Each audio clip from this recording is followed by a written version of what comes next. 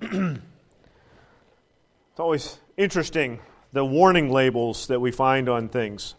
Uh, caution, use extreme caution, that sort of thing.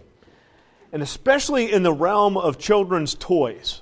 You ever notice you, you get dads and moms out there, you buy something and you have to maybe assemble it or whatever, and you think these nice, cute little innocent toys that you buy for little Johnny or Susie, and you uh, open them up and there's like plastered with all these caution stickers. And we think, wow, is this toy really safe to be giving to our children if it's that dangerous? but we, we think of the world that we live in, and there are a lot of dangers out there in which we encounter frequently. I think some of the some of those caution stickers though are a little bit excessive in my opinion. But there's a reason for it. Some of you remember back in the day when coffee was hot, all coffee was hot. You didn't have the iced coffee. And lo and behold, somebody bought some coffee at McDonald's. You know where I'm going with this. And they spilled it on her lap. And she sued. And what was amazing is she won. because the coffee was hot and she spilled it on her lap. And, and so after that, McDonald's puts these caution labels on the coffee cups just in case you didn't know that the coffee was hot. But that's the result of it. And we think, ah, oh, that's crazy, this world in which we live in. But then we also, there are other products that we think of, and I think probably one of the, one of the products that is out there that, that has the most warning labels attached to it are cigarettes. Clear back in 1965. Does anybody remember that? Hey, thanks, Terry. There is somebody, where's Dan at? There is somebody older than me. but that was the year I was born, by the way. but they had to put in warnings. It was what I'm told. I don't know. I wasn't really uh, coherent in 1965, but uh, there was a, it said caution: smoking may be hazardous to your health. But only a couple years later, they had to update that a little bit and say the Surgeon General has determined that, the, that cigarette smoking is dangerous to your health. And we think, well, that's kind of crazy. Well, they, well, people ought to know that. But then now I remember some other warning labels, and I remember this pretty, pretty uh, frequent, uh, not frequent, but uh, pretty fresh in my mind uh, back in the early 80s when uh, the cigarette companies were being sued and all the lawsuits and that sort of thing. So they had to plaster their cartons and that sort of thing with all these warning stickers uh, because it is dangerous to smoke. But they had to define all those dangers. And we think this is crazy. Why would anyone want to do that? But yet still they make billions of dollars every year because of smoking. Now, I'm not up here to talk about smoking, all right? That's not the idea. The idea is to talk about warning labels, caution labels. And when we think about our life and we think about all the cautions that are out there, it can kind of have you a little bit nervous. But there are caution labels that we really need to take note to. I mean, really close note to. Those warnings that come in Scripture, those caution labels, if you will, that appear throughout Scripture. We need to pay close attention to them. Don't be naive in your life or with your life because there are things out there that will cause danger, that will be detrimental to your life.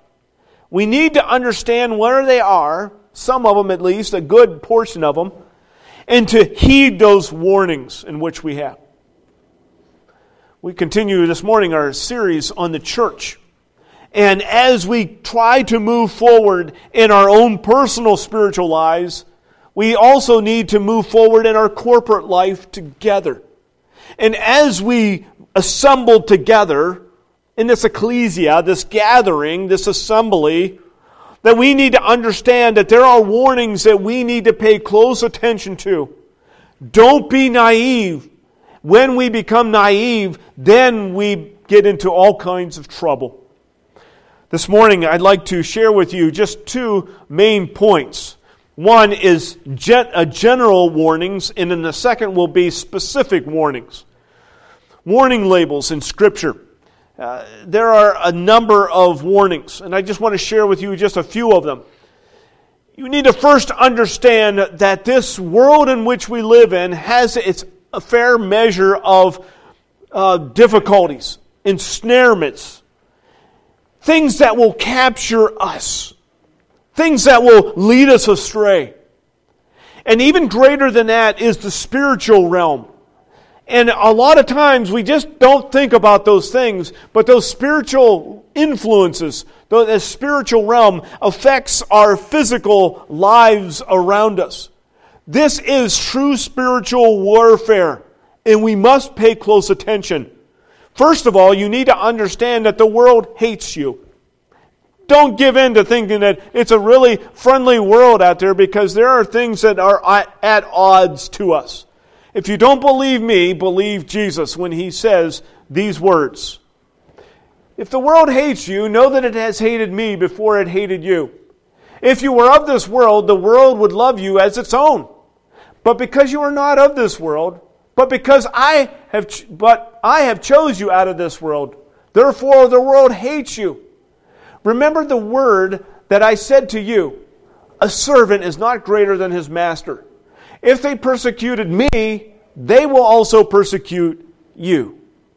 So understand that this is not a real friendly world, especially as we become a follower of Jesus Christ, and the more obedient that we walk after Him, the world will be pressing against you. You will have tribulations. And I know some of you, I don't have to talk much about that. We have tribulations all the time. Every single day, things are bearing down against us. This is not a friendly place to live. 1 Peter 5, verses 8 through 9, tells us about why this happens. And the ultimate reason is because of Satan, the adversary himself. He seeks to devour you. Peter says, Be sober minded, be watchful. Your adversary, the devil, prowls around like a roaring lion seeking someone to devour. Resist him, firm in your faith knowing that the same kinds of suffering are being experienced by your brotherhood throughout the world. So here you are living in this world and you endure this, this daily, this constant pressure, this uh, difficulty, these tribulations. You're in good company. It's happening all around the world by brothers and sisters in Christ just like you. Satan is alive and he's active and he seeks to devour you. You in your life and your activity as a follower of Jesus Christ. You also need to understand that the false teachers in the world around us, they are in the power of the evil one, Satan himself. Understand that and understand it very well. Uh, the hostile world that we live. And we think with all of that that happens around us, in our neighborhoods, in our workforce force around us, then we need to really be very special group of, we need to be a very special group of people as we assemble together on a weekly basis. There ought to be something very significant that happens right here that doesn't happen out there. Something that we know that the world, there's evil, there's forces, there's fightings, there's all kinds of, the battlefield rages around us. But when we come to this fortress, this grouping of believers, this ought to be a safe haven for you and I to come to. And we need to understand that. And when we begin to have a stirring within our own hearts, something that would cause us to think or act evil of one another, be very careful of that. Watch very carefully our attitudes, our thoughts. Because as we come together, well, let me just write, read this caption that I have here for you. There is enough spiritual warfare from the world that engages us in the battle that should never be fought within a body of believers. We must understand that the real enemy is invisible, looking to seek someone to devour. We need to understand that when we come together, this ought to be a place that we encourage one another. This ought to be a place that we can come and kind of catch our breath to be encouraged, encourage one another, rally around one another, and help one another in this raging world in which we live. So there's some general warnings here about understanding that the spiritual warfare that we're engaged with, but we also need to understand that the days that we live in, the days that we live in, and also the days that are ahead. Tomorrow, the next day. there is a certainty about tomorrow that we need to understand, and it comes from 2 Timothy chapter 3 and verse 1 through 5. I invite you to turn there with me because this is really our main passage that I want to share with you this morning. If you're using one of the chair Bibles, it's on page 996. I want you to look at this, and these are the, some of the last words that Paul spoke to Timothy that we have on record uh, for us today. Paul tells Timothy as he's pastoring this church in Ephesus, kind of a young pastor at, at that. And he says in chapter 3, verse 1 But understand this, that in the last days there will come times of difficulty. Don't be naive, Timothy. The day that you live in is not going to get better tomorrow. The church in which you seek to minister in throughout your career will continue to progressively have more difficult days around them. It's not going to get better. And we can see it even in our day today. Don't be naive. Things will continue to get worse. The definition I found uh, laying around on the internet was something like this The definition of naive is being immature, unaware, or overly trusting. An example of naive is someone who believes that the moon is made of cheese because someone said it was.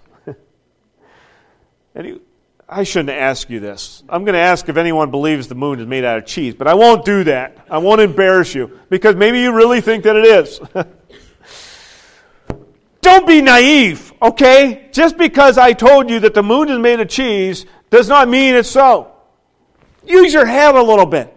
Don't be immature and be aware of the true reality of the world around you, such as Paul is telling Timothy.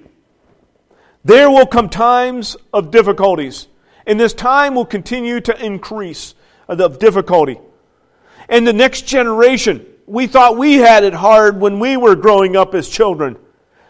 Our children and the children's children will even have more of a difficult time in the world in which they live. Greater struggles, challenges against the evil one that we never was faced with.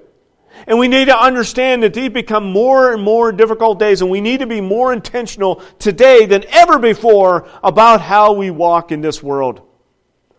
And so, as we read these warning signs in the Word of God, I think it's pretty logical why those warning signs are there. It's so we can be prepared. Right here and right today. Don't tune me out. Don't tune the Word of God out. You may have heard it a thousand times before, but pay attention. Don't fall asleep. Don't allow your mind to wander.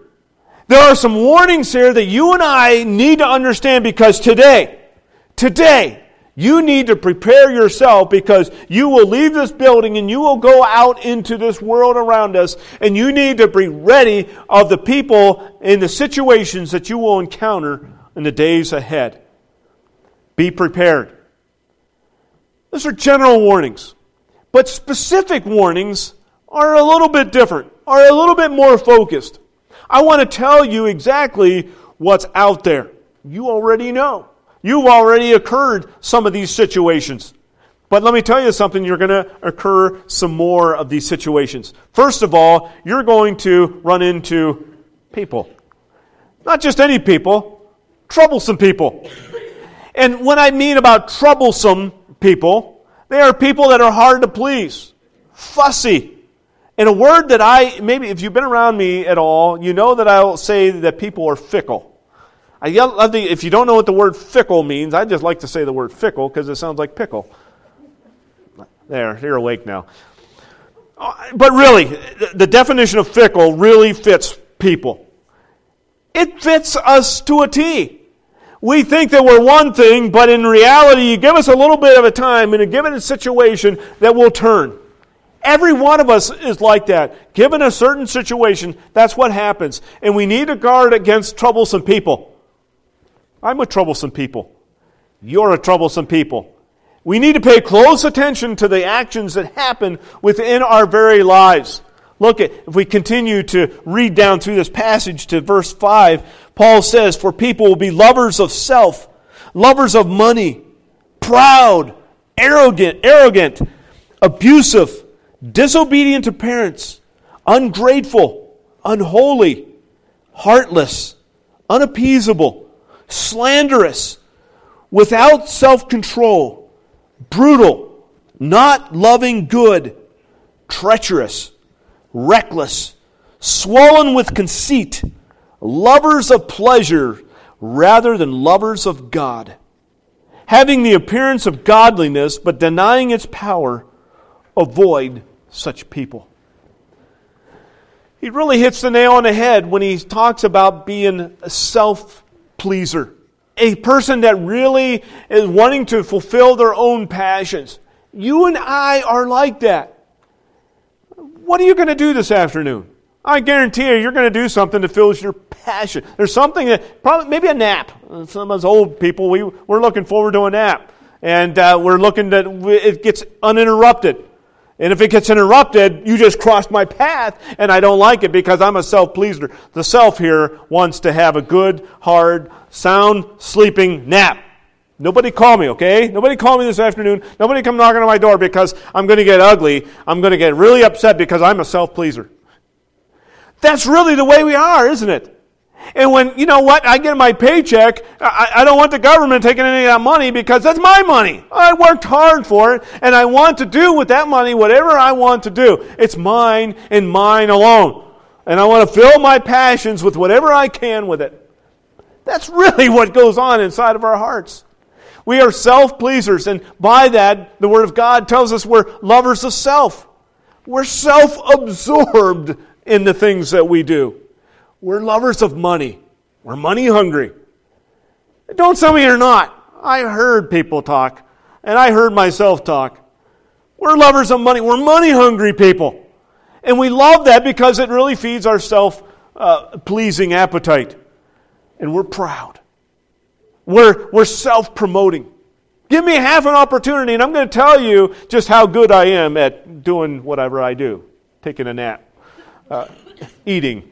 I, I, but really, I, am self promoting. I want to promote myself over you, and given preference, me over you, get out of the way because number one is coming through. We're self pleasers. We really are. I love myself. You love yourself. And that's, all, and that's the bend that we have in life. And then when this, this heart that continues to gen, that, that grows and grows in that direction, it becomes very troublesome especially as we come together as a corporate body of believers. And what happens is, I want my way. I demand my way. And when you cross it, there is going to be sparks that happen, and there's going to be friction and all kinds of wars that happen within the body of Christ. And Paul is urging Timothy to be on guard of that. And then when you cross from verse 1 to verse 2, there is a special word that's being used here. Let me just give it a running start. Paul says, But understand that, that this, that in the last days there will come times of difficulty, for people will be lovers of self. What Paul is saying here, this, in this word, for, the difficulty will come out of these type of people these troublesome people, us people. I don't know if I'm using right terminology here, but you get the point. The difficulty comes because I want my way, you want your way. And, and the more I continue to feed myself in this way, the more I want to feed it.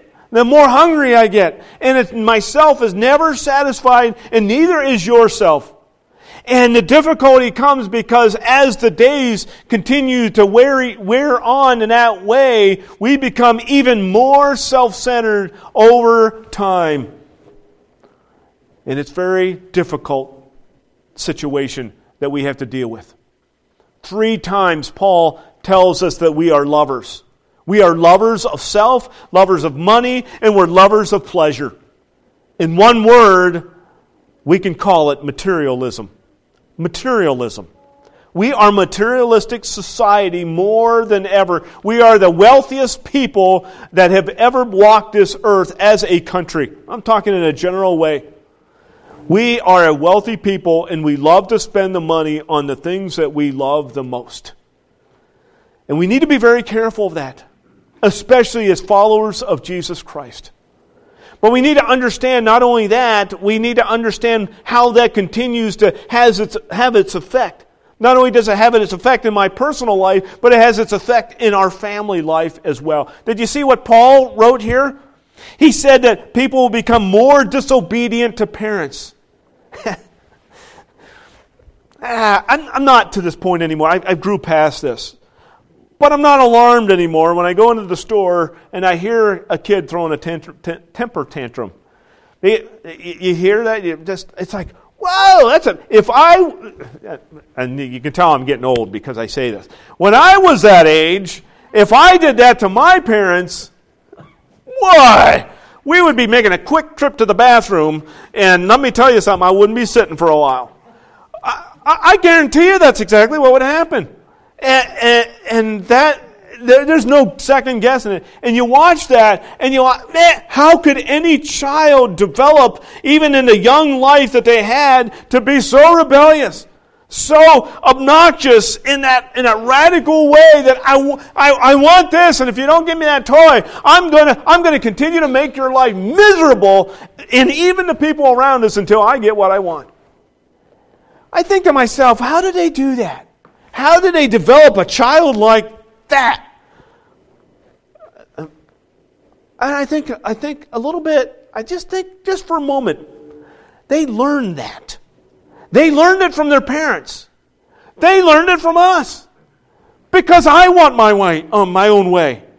And I demand my own way. And I will work twice as hard so that I can get that. I will work twice as long and I will do, I'll give up that in order to get this.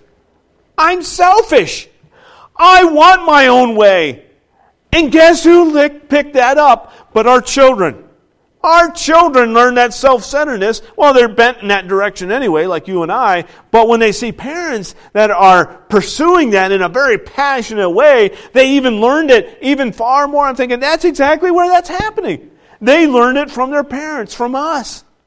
And it, this, this self centeredness, this troublesome spirit, this, this attitude of self, uh, loving self, it continues to filter into our own homes. And what happens is we build confusion in their mind. We say that we are followers of Jesus Christ, and we say that we, we listen to God's word and we obey it, but in reality, they see how we live throughout the week. They know that we're really not serious about what God says because we won't take the painstaking uh, process to, to, to allow us to become the Christ followers that we're supposed to be. What we do instead is say, well, that's a nice little verse there, but now I'm going to go and I'm going to go pursue what I really want to pursue. And what happens is we build confusion in our minds. Where is the truth and where is the falsehood? And they see the reality, the behavior that's happening in our lives, and they actually live out that reality of the truth of how we demonstrate in our lives. Where we teach them a tolerance. And this is, it's a tolerance that we have allowed to consume us and to consume us and, and being consumed instead. I'll talk right. Let me just read it the way I have it written. It is the tolerance we have allowed to consume us over being consumed with God. You see, we have tolerated this in our lives. This tolerance of pursuing ourselves in doing what we want to do instead of humbly yielding to the Word of God, surrendering our lives and following Him. We have learned tolerance in our own life so that, you know, it's no doubt that we see tolerance being lived out into the world around us. I just want to turn ever so briefly to Ephesians chapter 5, and it's just a few pages to the left. Ephesians chapter 5, and again, Paul is going to be talking about something very, very crucial to the life of the believer. This will help combat these uh, troublesome times within our lives. Verses 15 through 21, Paul says, Look carefully how you walk, not as unwise making the best use of the time because the days are evil. Therefore, do not be foolish, but understand what the will of the Lord is. And do not get drunk with wine, for that is debauchery, but be filled with the Spirit, addressing one another in psalms, hymns, and spiritual songs singing and making melody to the Lord with your heart, giving thanks always and for everything to God the Father in the name of our Lord Jesus Christ, submitting to one another out of reverence for Christ. Be very careful, folks. Be very careful and watch the way you walk. Be wise. And yet, in our life, we have what, Tim, what, what Paul's instructing Timothy down in verse 5, this last verse that we're looking at. That people around us, even ourselves, can have a form of godliness, but inside we deny its power and we have this power coming from something else. And that power is called self. And that is the power that we live in, and besides, and we don't want to live in the power of God. And to be very, very careful of that power in which we derive our life from. If you see people that are chasing after those things, avoid them. And it's not avoidance that don't talk to them and stay on the other side of the street. It's not that. Don't allow them to infiltrate your life. Don't allow your lives to be intertwined with them because what's going to happen is we're going to be becoming more and more like them. So be very careful. Don't give them prominent place within your life. And that is not the way we're being taught into the world that we live in. The world in which we live in is to allow tolerance to happen for everyone that's around us. Allow them to live the way that they want to live, and that is being the most loving to them. And that's exactly the abuse that we get when we have a mission statement of loving God, loving others. If you really are loving to them, you're going to tolerate whatever they do. And that is a gross misinterpretation of what that says back there. It's as if this building caught on fire and I was the only one that knew about it, and I'm going to go sneak out the back, and I'm not going to tell you about it.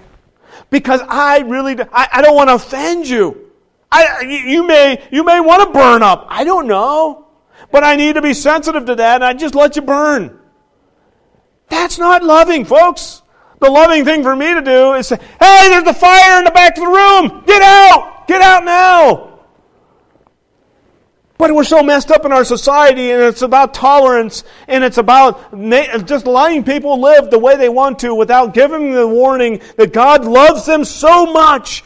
God, it wasn't the fact that He's just going to let you do whatever you want to. He wants you to stay away from sin. He wants you to repent from it. He wants you to place your faith in Him, and He wants you to live the abundant life through Christ. And yet we are taught a tolerance and we are, we, so what we do is we have allowed ourselves to live this veneer life of being one thing, but inside we're rather just much like the world itself. The definition of tolerance, according to G.K. Uh, Chesterton, he says tolerance is the virtue of a man without conviction.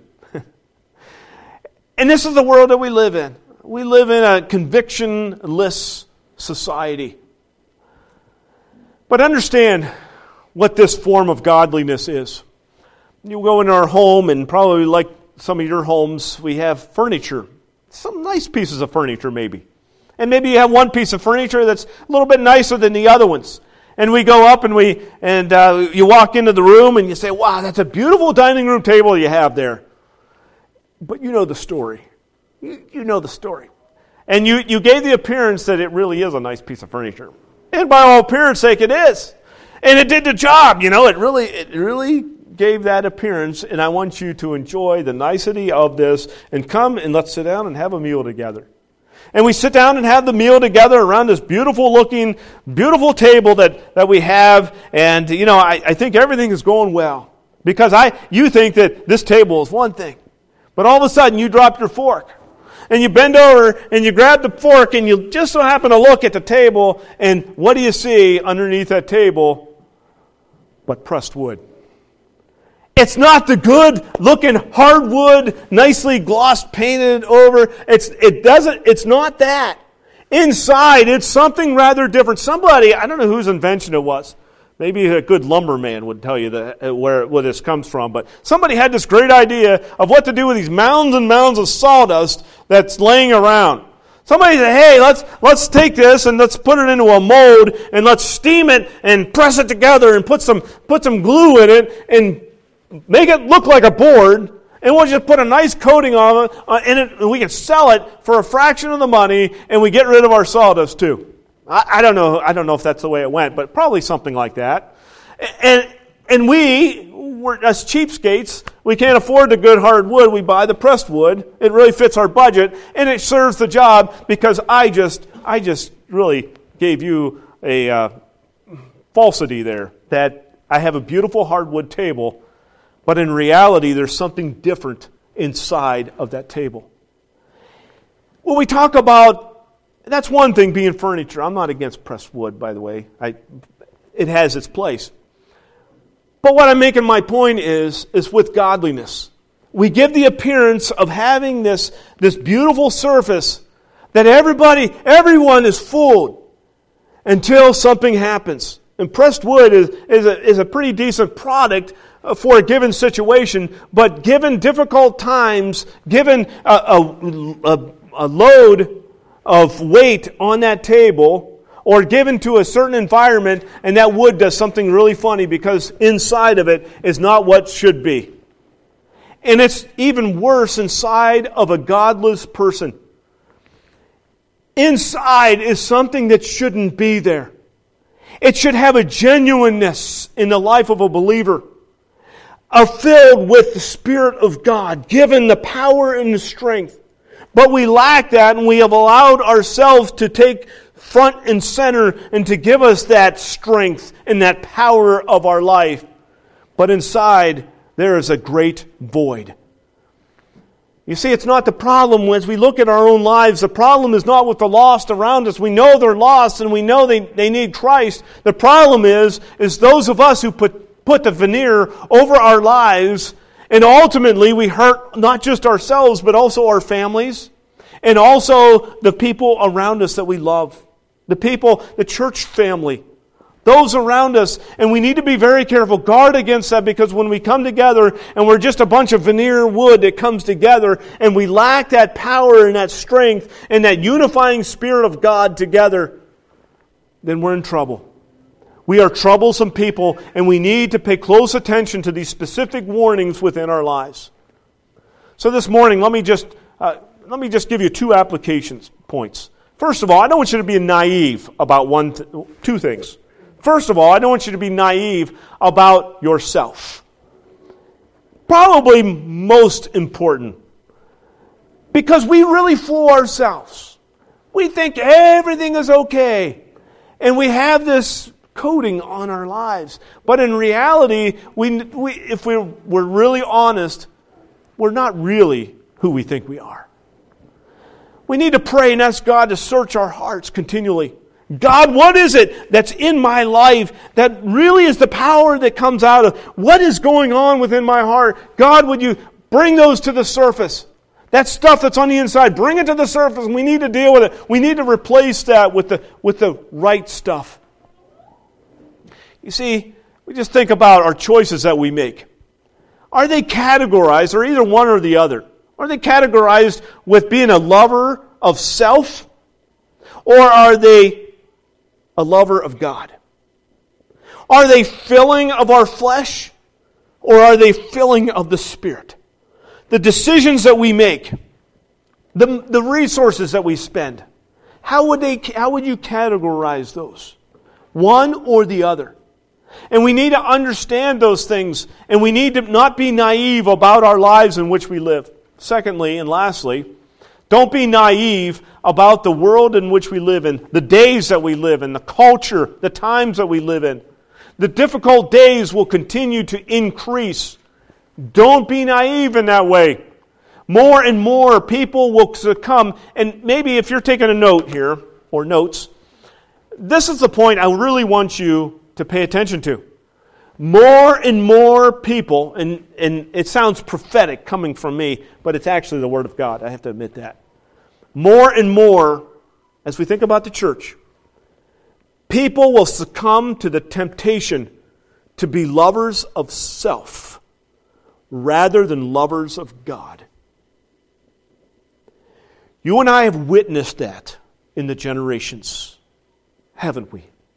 There was a time when on Sunday morning the community would pretty much empty out and they would go to their respective churches. We live in a world today where there's less and less of that. People are being more consumed by being lovers of self than lovers of God, and it's going to continue to happen. The Word of God says it will. And we need to not be naive about that. These are the days that we live in, and especially you as parents that are raising your children, pay close attention. They are living in a world today that is even far worse than the world that you live in. Greater pressures, temptations like you've never even thought of when you were a child. Don't be naive to the difficult days in which we live in. We must use extreme caution about the lives in which we live. These are warnings that you and I have for our personal life and for our corporate life together. We need to understand these things if we are to move forward and be the church that God wants us to be. Let's stand and I'll close this in a word of prayer. Father, once again, we are thankful for the Word of God. Thank you for the warnings that you have put within it. God, I pray that if there's someone here today that is living that life that is rather oblivious to the self centeredness that they are living, that you would just call that to their attention. Point that out to them. Show them that they need to get rid of that veneerness about their life and to be the truly lovers of God that you've called us to be, filled with the power of the Spirit Oh God, we have an important job to do in this world, and may we be focused upon being the church that you've called us to be. For we pray this in the great name of Jesus. Amen. You're dismissed.